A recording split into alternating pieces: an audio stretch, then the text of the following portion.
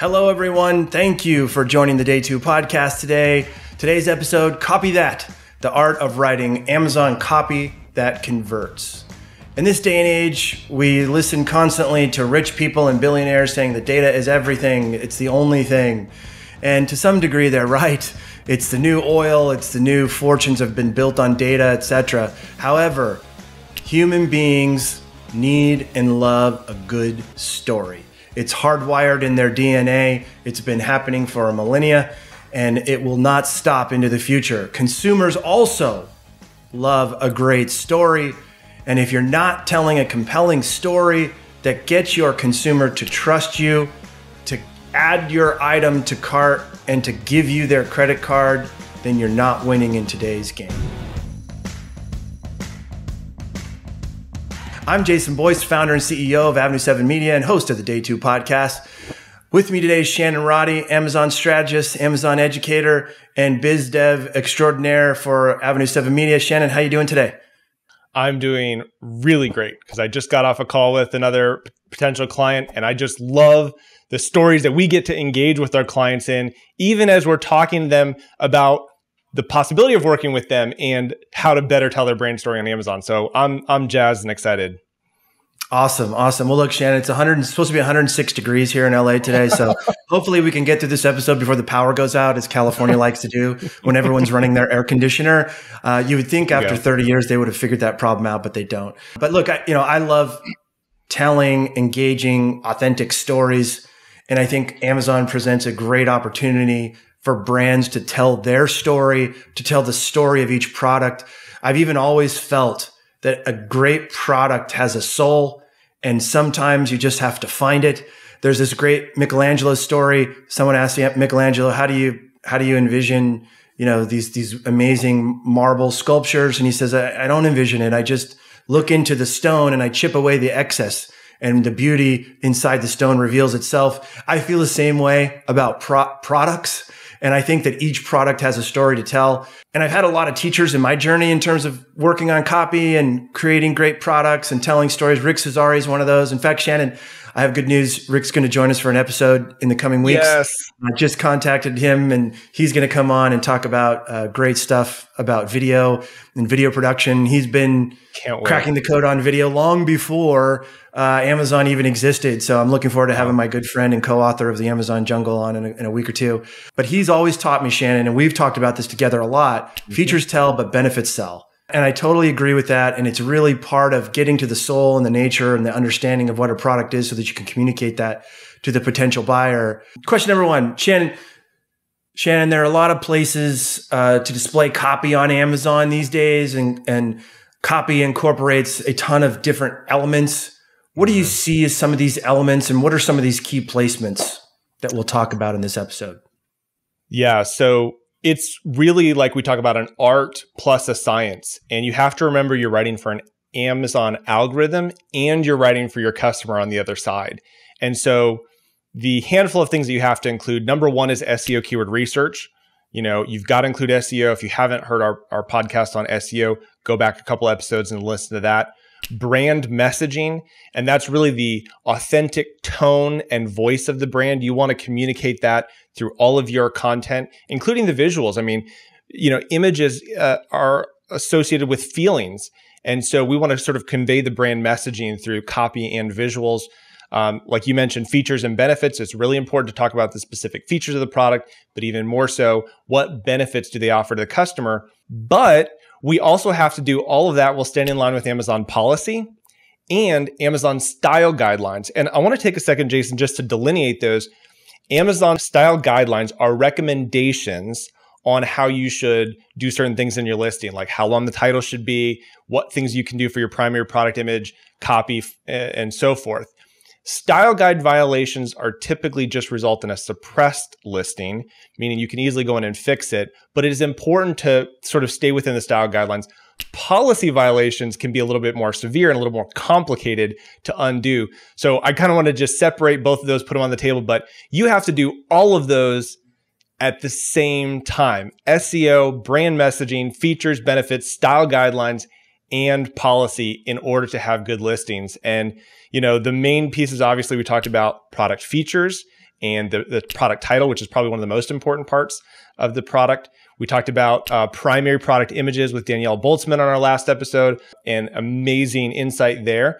And so the primary product image and additional Im- images, as well as the A plus content, Amazon released premium A plus content, which has been shown to increase conversion significantly, and also video. So there's all these great places that we can Im- import and sort of inject and infuse all those different elements, but it's got to be done with all of those things in mind all at the same time.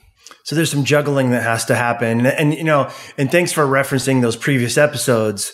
I love the uh, interview that we had with Daniela offering such great visual content uh, recommendations for brand owners. And then also following those guidelines. The last thing you want to have happen, Shannon, is you, if you don't follow those guidelines, is you, you create this amazing copy that moves consumers that they love that really tells a great story only to have your listing suppressed and never see this the light of day and you know mm-hmm. we had we had several episodes about product availability including buy box suppression and search suppression so mm-hmm. so you're right this is a very it's kind of like juggling on a unicycle type of thing that you have to you have to incorporate all of these different elements and be good at all of them um, you know at its core shannon you know, technical aspects aside just for a second uh, Rick Cesari, my my co-author of the Amazon Jungle Book and amazing DirecTV um, legend, marketing legend, and, and by the way, he's going to be joining us on an episode later, um, either next week or the following week. So I'm really excited to have him on and talk about video for our content uh, producers here. But um, you know what he always has told me, Shannon, is features tell and benefits sell right? So right. it's always important to know the length, height, width, the features of the product, what it does, but it's more important to answer the question, what's in it for me when I add to cart, right? If I give you my mm-hmm. credit card, what am I going to get in return? And the benefits are what mm-hmm. tells that story. Can you think of any examples that highlight what Rick talks about in as we work with our clients? I I think again, remembering why people buy that there's a there's a couple different things that I've sort of looked at these from different angles. Number one is a necessity. People buy out of necessity. I actually, like, I really actually need this product. Um, the other part is I've run out of toothpaste. I need toothpaste tomorrow. You got to get toothpaste. The other is convenience. How will this make my life easier? Right. Another one, and, and this is actually goes back to my my friend Jen Harada. I was in New York. I visited New York for a podcast recording, and everybody wears Apple AirPods. I mean, everybody. And I said, Jen, why are they so popular? He goes, it's a status symbol. Mm. And and so sometimes buy, people buy things not because they need them and not because they're more convenient, but because it's a status symbol, right? Mm. And and sometimes they do them, you know, they buy it for for lifestyle, sometimes they buy things for health. And so sort of there's understanding that that human element that there is a deep human desire to achieve something and your product will help them do that. And telling that story, I think, is the most important thing you can do in a listing. People think, well, there's not really a story to my product. Oh, but there is. There is a story to your product. And it's your job as a brand owner to figure that out. What is the customer really buying? Are they buying comfort? Are they buying, you know, ease ease of use or or efficiency, or are they buying status? And that really drastically determines how you convey that story and how you sell that product. Yeah, that, that's a great point, Shannon. And I would sum that up as, is how does this make my life better? Maybe that makes mm-hmm. it makes me feel better about myself. It makes my life more convenient, or it literally solves a problem for me that I need to get solved. So uh, those yeah. are great, great elements. Now, you know, here at Avenue Seven, research is really important to every listing we do. Uh, why is it important, Shannon? And what are some of the things that brands should do before they put pen to paper? you know, you talked about in the beginning, Jason, this sort of idea of data versus stories. And really, what we want to do is we want to mine data to help us better tell better stories. And so we have a very exhaustive process that we go through that not only determines who our target audience is, and, and sort of a customer avatar, but often what are the multiple avatars? Because there's typically more than one type of customer buying your product. And a lot of people say, you know, we ask people all the time, who's your audience? And they're like, everybody, right? Everybody is not your target customer, right? So we actually break it down into a handful of different avatars. And that will then provide insight for our graphics team and our copy team in terms of who they are writing for and how they position the listing and the product. And the research also informs us, you know, what what price point people are willing to pay, you know, what you know again what that need is that they're looking to satisfy and fulfill because even with those different avatars you may have somebody who's just buying this for comfort and ease of life and somebody else who's buying out of necessity one of the most valuable places to get customer research is actually on Amazon, and it is going through either competitor product reviews or if you have a listing that has been on Amazon for a long time and you are looking to iterate your product, which again, we talk about all the time, go back and see what are customers saying? What do they love about a product? What do they hate about a product? What do they wish about a product was different? And I'll give you a really simple example. We have a sound machine that we bought and they're cheap $20 you know, I, I don't I won't say the brand because I don't want to get sued for libel, but you know, you turn the sound machine on, it just it's a really nice white noise. And our entire family has gotten used to this type of sound machine. It works, you know, for our families. The problem is after about two years,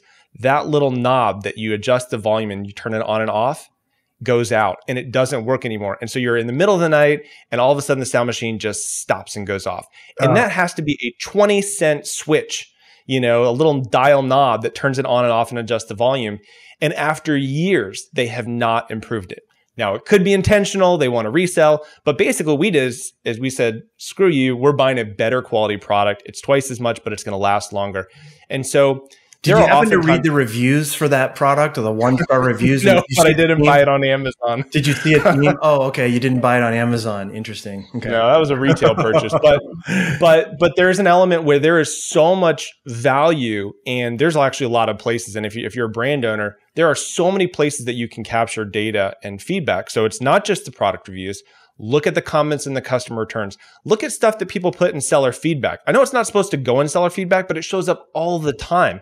Look at stuff in buyer seller messaging, and you'll begin to see trends in data and say, look, if we make these improvements, if we make these changes, we're not only going to be able to create a better product, but we're going to be able to sell a better experience. And for me, that's the cloud. Totally agree. And, you know, we've talked about this a lot, Shannon that those reviews, when a customer is willing to complain about your product, you should thank them. Mm-hmm. You shouldn't take it personally and you should thank them. And if there's a theme of other shoppers who are having the yeah. same complaint, that's as good as that's a good a product research as you need, right? To develop the next iteration of your product the next time you need to place that order and fix that little 20 cent knob. Um, yeah. I, you know, I, I, I used to love it when I would launch a new product and then get 30, 40, 50 reviews and a theme would evolve. You know, mm-hmm. um, you know, in the air, and uh, you know, I used to sell air hockey tables among other things in the sporting goods space. And I used to love when I would get specific feedback about a dead corner or, you know, it's hard to level my table because I would take that back to the product engineers and say, Hey, we got a problem. Yeah. We've got, you know, three, four, six, 12 customers who are having the same problem. We need to fix it. Speaking of copy, whenever we would fix it, and the new product landed and we were confident that that issue was resolved, we would put in the listing new and improved for 20, whatever, 2000, the year 2000X. And, um, and, and, and we would call out the improvement in the feature that we fixed mm-hmm. right in the listing. Because that way, when the customer saw the older one star reviews that there was a problem, and then they go to the listing and see that the brand was it's listening to the consumers and fixed it, sales mm-hmm. grew exponentially greater. So it's part of the game. It's part of the iterative process that consumer driven innovation that helps drive research and helps you identify some of the things that need to be uh, discovered before putting pen to paper. I'll tell you another good one is questions and answers. You know, going through and looking at the questions that consumers are asking about your listing before they make their purchase decision. And I, and sometimes you'll see a question that's already answered in the listing. So that's just, you know, that's just somebody's who doesn't want to do the reading or doesn't want to do their research on, on the listing. But it's a great area to find out what question needs to be answered in your copy, yeah. especially if that question gets a lot of love and, and, and gets asked repeatedly. So really, really good yeah. stuff. So Shannon, now I'd like to dive into some of the nuts and bolts you know, um, product titles. It's one of the first things that somebody sees on the search results page, at least that shortened title. It's, um, it's how you know if your search is spitting back good results by reading what's in there. It's how you know if you're looking or you're willing to invest in the click to learn more about this product. How important are product titles uh, in terms of copy? And what are some tricks? Not tricks, but what are some best practices, I should yeah. say, in order to, to, to yeah. get your best bang for the product title buck? Yeah, titles, in my opinion, are one of the most important things that you can do to optimize your listing that will probably have a greater impact on the life of your listing than anything else you do, aside from off Amazon promotion and aggressive advertising. It really is for that foundational piece. It is one of the most important pieces. Um, like you said, it's the first thing people see in search results. So it can drastically increase click through rate, for example, with a well optimized title. Um, again, we're, we're going to talk about the style guidelines. Amazon recommends you put your brand first. I get a lot of pushback against this, Jason and I'm kind of sick of it. People say, oh, I don't want to put my brand first because Amazon weights the keywords that are closer to the front of the title more heavily. So I'll just go kind of sneak the brand to the back of the, uh, of the title. And I'm like, look, we, we talk about being a branding agency. Like we want to tell your brand story. We want to promote your brand. Why in the world would you not want to put your brand first? Does Coca-Cola ever try to hide who they are and, you know, change their colors and hide their logo? Of course not. You start with the brand because you want to build a brand experience. Then you do your most highly searched relevant SEO keyword term. For the remainder of the title, Jason, we're doing a handful of things. Number one, we're typically calling out some unique value propositions. Why is your product different or better than competitors? As well as sprinkling some additional search terms in there. And again, we can go back to the SEO episode. What are some alternate ways that customers are searching for this product? But some of the other things that are really important specifically for food products are things like is it vegan? Is it gluten free? Right? Those are things that customers are searching and, and you want to organically rank for those, got to be in the title, as well as some uh, you know product specs or you know so in, in some cases you want to have measurements. If you've got a supplement, people want to know what kind of product is it? Is it a capsule? Is it a pill? Is it a gel? You know, you know, is it a liquid? And how many I how many am I getting? And so, sort of the unit count um, of yeah, this is a 90 count bottle. It's it lasts for 30 days, right? Those kind of things are really important to customers. And you have to balance all of these things. Like I said, you're not just throwing SEO in, you're not just doing value propositions, but you've got to do them all well and typically in under than 200 characters. And in addition to everything I mentioned at the beginning of all the elements, you also have to consider the truncated um, part of the title, which shows up in mobile or in search results. So we've got to factor all of these things in to create these really well optimized titles that are going to not only get clicks, but also sales. You know, I just want to emphasize something you said about putting that brand name in front. It becomes really challenging, Shannon, when the brand has three word names or four word names as their brand. You know, I'd like to make a pitch for one word brand names as being really helpful in general. Nike. Yeah. Coke. Yeah. Puma, right? All those brand names right. are really important. And, and you're right. You know, we tell sellers this all the time. The last moat, the last stand for US brands is building that brand. You absolutely yeah. want to put your brand, uh, you know, first and foremost. You want to tell your brand story with great engaging yeah. copy and you want to tell the story of each of those products. So I couldn't agree more with you about putting that brand name in front of the product title. And then yeah. in that last point that you made about the truncated product title for mobile devices is really, really important because, um, you know, you want to front load as much of the important information, especially yeah. that attention capturing or descriptive information so that you can get a higher click through rate and good product title.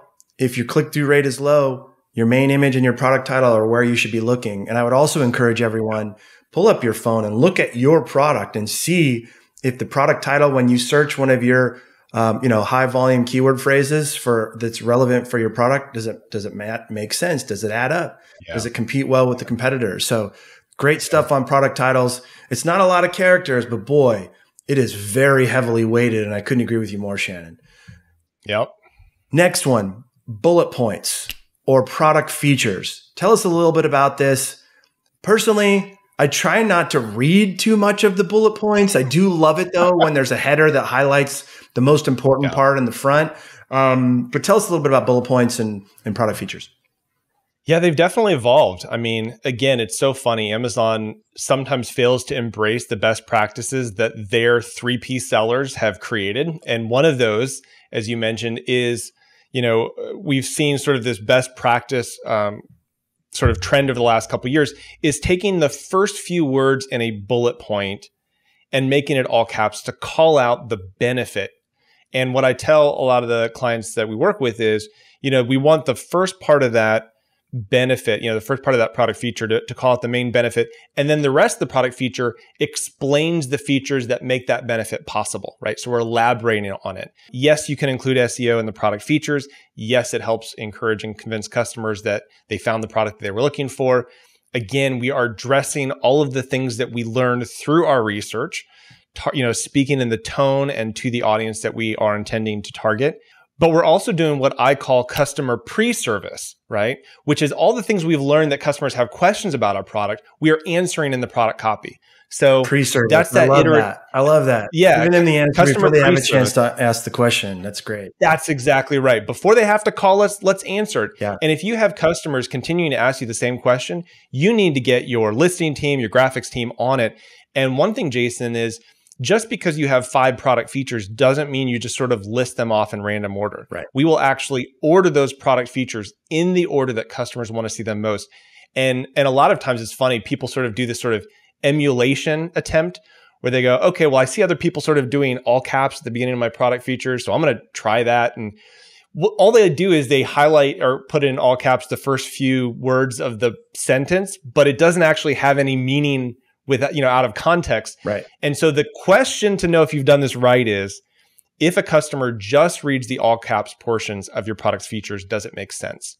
And if it doesn't, you go back to the drawing or board. Or does it so make you want to read more? Right? Does it, does it make you want to read more? Key heading that tells you what you if you invest your time into reading those three or four sentences in that bullet is, is does it explain what what's in it?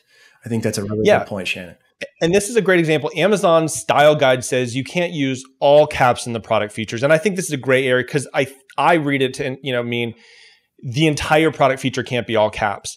But it's such a brilliant move on Amazon's part if they were to allow it and say, hey, this is actually a best practice yeah. because it allows customers who are in a hurry to skim and get the information they need quickly. If I was Amazon, I would say not only would I remove that section from the style guide, I would actually educate brand owners and sellers on how to do that better because sellers have discovered that it increases conversion rate. I love it. And so why not why not do what's consumer centric? As Amazon claims to be the most consumer centric company, allow your policies and your style guidelines to support that. So the product features really is about highlighting that benefit at the beginning and then elaborating on the product features that make that benefit possible and answering all those customer pre-service questions so they never have to call you. They never have to reach out for, through buyer seller messaging because they already know the answer. I love it shannon. And look when i'm buying on amazon which happens a lot i also like to see those key features and benefits that are highlighted in the bullet points. I like to see that copy layered on top of the additional images you know, it's part of our secret sauce over here at AV7. And because, you know, more often than not, people are buying on their phone now. I do it all the time. I did it last night. My daughter came in and said she needed something. And I was like, well, my phone's right here by my nightstand. Let me just, let me just order it for you. It'll be here tomorrow. Um, and, yeah. um, you know, what was great about it is I'm thumbing through the images to make sure it's the right thing that she wants is um, you know the, the, product had really great call outs in words mm-hmm. layered over an image the copy needs to match the story being told by that image. But I find myself yeah. reading copy on images these days more than the bullet points. And if a product doesn't have copy layered on top yeah. of the images, I'm probably moving on to the next one. It's a great point, Jason. And, and we basically call that parallel storytelling. Danielle and I have talked about that a lot over the last few years. That most amateur sellers and brands will put different copy on their infographics and images than they do in their product features and different copy in their A plus content. And really what you want to do is tell the same story in slightly different ways because most customers are only going to look at one. You know, on on mobile, which by the way, 72% or more of Amazon traffic is now mobile. That is insane. So if your images and your copy and everything isn't mobile optimized, you're dying. I mean, this is like a, a trend that if you're not paying attention to, um, companies that pay attention to mobile are going to beat you on Amazon. You know, Shannon, so I'm a little bit of a slow learner, so I thought that this was the way I learned. Repetition is the key to learning, but then I learned that everyone does that, and the more yeah. the more you repeat the same message over and over. So I like the strategy a lot of calling out the key benefits in the bullet points, duplicating them again in the main images, and then also yeah. triplicating them, if that's a word, I'm not sure that it is, triplicating it them in the A plus details section that we'll get to here in a second. But when you when you yeah. jump, when you jump forward in that that into that A plus details section, there's something called the product description that Amazon mm-hmm. offers. But if you're not brand registered and you haven't built out an A plus section, you can see the product description and it's just sort of a paragraph of copy. Tell us a little right. bit about that. And if I've, if I'm brand registered and I've got an A plus details section that's going to cover that and remove that product description, should I still do it and why? Right. Yeah. So it, it is still important. And especially if you're, I mean, if you're not brand registered, you need to get a trademark and you need to get brand registered. But um, one of the articles like, that I wrote, stop years, listening to the podcast, go get registered. yeah, years ago, years ago, I think probably eight years ago, I wrote a uh, uh, an article on sort of allowed HTML and product descriptions, and basically now it's it's you can do bold and you can do a line break, so you can actually make that product description beautiful, even if you don't have brand registry or if you're waiting for your trademark to process and you can't get brand registry yet. So bold and line breaks using HTML still work. It is important because number one, if you're, like I said, if you're waiting on A plus content, it's a great way to just, you know, tell, tell again, sort of enhance those features and benefits of the product. Um, but it, it, can also be a, an additional, you know, content area for SEO. I think it's much lower weighted than even the product features and certainly than the title, but it is another place that you can put it. So we do a, a product description that has SEO copy, even if we're creating A plus content, which Amazon uses a, a, what's called a JavaScript overlay, um, so that customers don't see it, but algorithms and search engines do. So still important to have a product description, much less important um, if you're going to focus on building your brand, get your A plus content, and now get your premium A plus content, which has been proven to convert even better than regular A plus content. And that involves having a brand story, which again, got to tell the brand story. So there's a whole brand story section above your A plus content that you need to have on all of your products. You know, those, those are two newer ones that I want to dive a little bit deeper on. Is the, the brand story started to see some of those trickle into listings last year in, in 2021. Yeah. Certainly seeing that available. Is it every listing that's available now for the brand story? And how important is that brand story? Yeah, I mean, I, I think it's really important because again, Amazon's Amazon knows how to incentivize sellers, right? And, and, they can do this maybe in positive ways and not so positive ways. I think, you know, again, Amazon says, look, we have seen that when sellers do XYZ, it converts better. It's better for you. It's better for us. It's better for the customer, yeah. right? So what they do is they dangle the carrot and say, hey, brand, if you do these three things, X, Y, and Z, we're going to give you these benefits over here. And so basically Amazon says, if you tell this brand story and you use it, then we're going to give you access to this premium A plus content. And that's going to, you know, give you access to more features and benefits. So the premium A plus content is incredibly new. Um, and we can provide, you know, some resources on that um, in our in our show notes. But it's important just for brand owners to be aware of, hey, there's something new. You need to get your team on it and be doing something about it, or call us and we'll do it for you because it's been shown to dramatically increase conversion rate. So again, Amazon's got the data and they will occasionally come back and say, how do we get our sellers to use this new, you know, what whatever it is, use this new technology, use this new benefit that we have in order to increase our sales and their sales, and they do that by sort of dangling additional benefits in front of you. Yeah, that that new premium A plus plus is very interesting. It kind of sort of expands the graphic capabilities, eliminates a lot of white space. I've always felt yeah. that Amazon's product details page has been quite ugly for a long time. So this, I hmm. think, is part of the beautification process, and you know, some of the numbers that we've seen are quite impressive. Um, a plus certainly increases sales and click through rates and conversions by double digit numbers and even bigger double digit numbers when you go to the premium. And then I just want to go back to the brand story for a second because I agree with everything you're saying here, Shannon. But again, our human beings are hardwired in their DNA to tell stories, to love stories, and to hear stories in a way that helps them remember things. And mm-hmm. we, we talked about putting that, you know, some people are you know, resistant to put that brand name in front of their product title. It's the last moat, people. It's the last moat that you have against the China factories and against Amazon Basics itself. So you have to tell that story. Every one of you, every single entrepreneur I've ever spoken to has a really cool story. You know it. Yeah. Your friends and family know it. Tell it, you know, make it cool, tighten it up and tell that story because it will bypass the frontal lobe of the brain, immediately talk to that amygdala feeling center of the brain, and they will remember you and they will trust you more. And then they will be more likely to add to cart when you tell that story. So, so, so I love that it's available. We're rolling it out all for existing clients and we do it for every new client.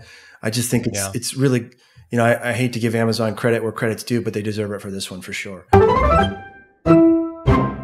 Um, yeah, I want to I want to provide one one thought about that though, and that is again, if we look at the mobile data, right, the stats, you know, seventy plus percent of mobile traffic, and we're going to talk about storefronts in a second. Storefronts have the ability for you to upload a, a desktop image and a mobile image. A plus content doesn't have that.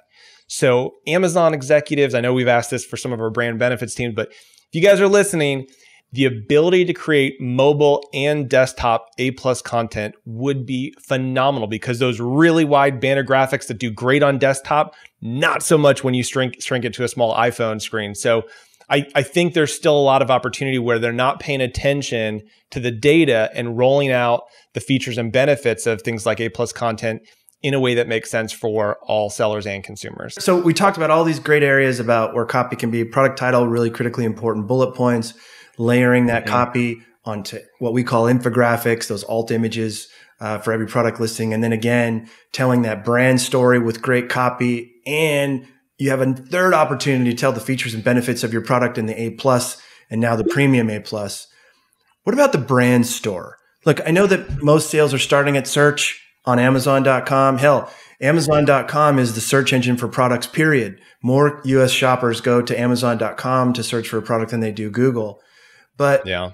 But the brand store is still important, right, Shannon? Or what kind of copy can you layer in there? What are some of the best practices yeah. for for maximizing and telling that story in the brand store?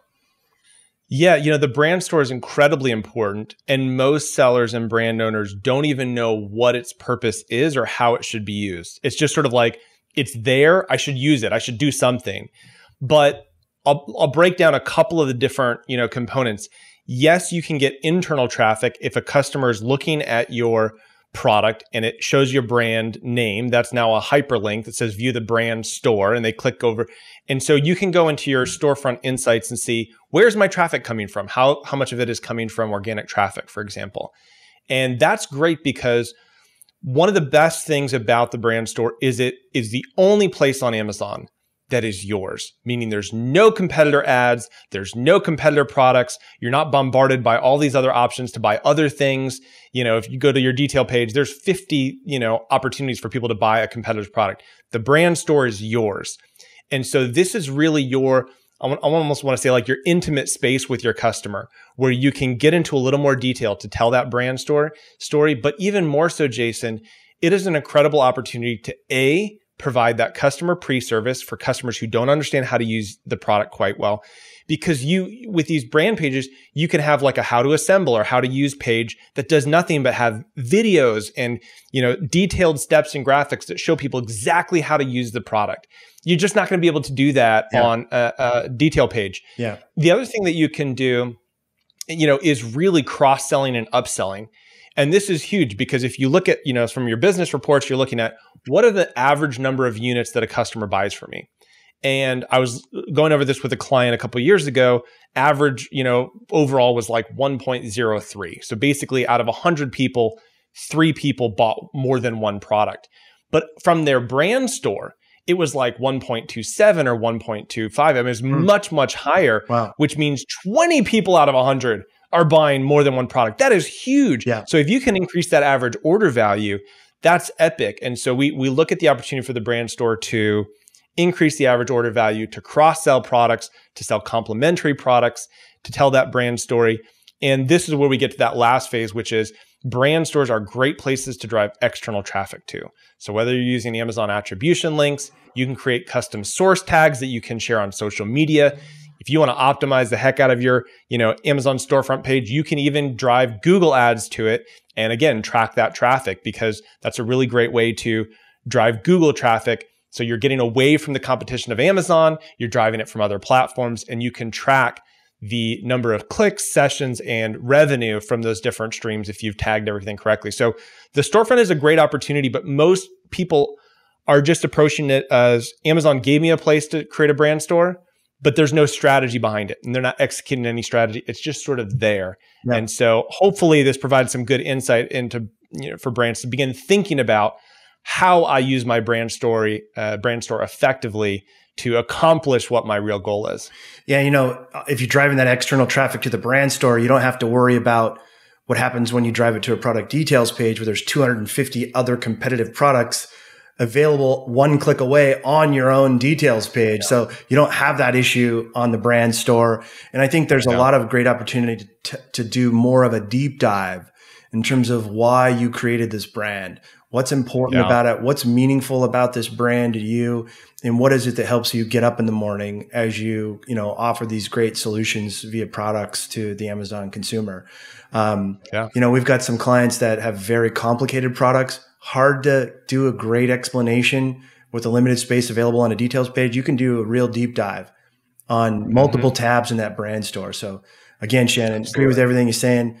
You, you, you've got to use that opportunity. You've got to use that space to tell the story, to use great copy, images, video. And again, remember, tune in in a week or two when we're going to have Rick Cesari on to talk about how to do um, video, video the right way, author of Video Persuasion. Um, Shannon, uh, this has been a fun episode. You know, sometimes yeah. the nuts and bolts and the basics of of selling on Amazon escapes folks. You know, we've had sort of a mini series about product availability. Now, you know, we've got one more episode in the can in terms of showing brands how to present their brand in the best possible light in order to get conversions, to build trust with consumers and grow their revenue. I, I really enjoy this. And as always, Shannon, you're a wealth of information. Um, you know, just wrapping up here, there's a juggling act that you have to do while riding a unicycle. There's a lot of different elements to copy. First of all, you have to reveal your story, really connect with the consumer on an emotional level, um, and then also tell them what are the best features of your product. But you have to pay attention to the guidelines. You have to work within the rules of the Amazon system because if you don't, your your listing and your product just won't have any success at all. And then the last thing is story right? And I think we've tried to weave that throughout the episode here, being able to to convey and tell that story to another human being who's looking to either solve a problem or have their life improved by buying your product is not only fun and a great way to drive revenue, it's incredibly meaningful. So don't miss out on opportunities to take advantage of copy. Um, anything else you want to add, Shannon, before we wrap up?